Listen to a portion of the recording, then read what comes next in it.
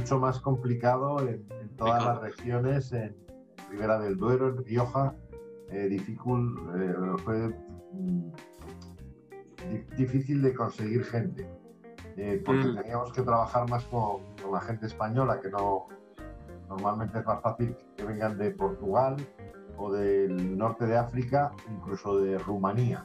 Hay mucho. Al final se consiguió gente, porque hay muchos inmigrantes en España viviendo, entonces se consiguió gente, pero muchos de estos inmigrantes están en una situación ilegal.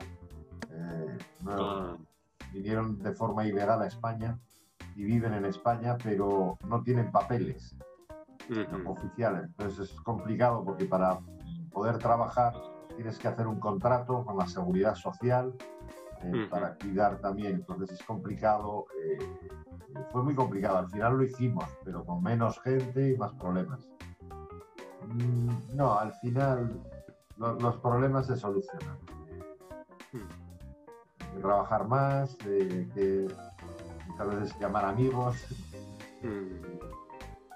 Pero al final el, vino no puede esperar. La uva hay que recogerla, la bodega, los trabajos tienen que estar terminados.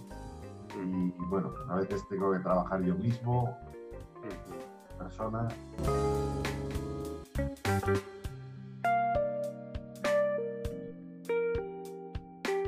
Eh, bueno, hemos cambiado un poco, vendemos, más online. Pero ahora vuelve a abrir todo y esperemos que, se recupere el consumo en bar y restaurante. Este en el 2020 hemos vendido menos que otros años.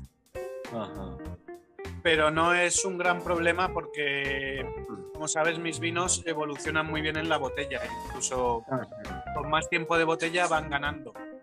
Entonces no estoy preocupado. Pero bueno, espero que, se reactiven ahora las ventas otra vez.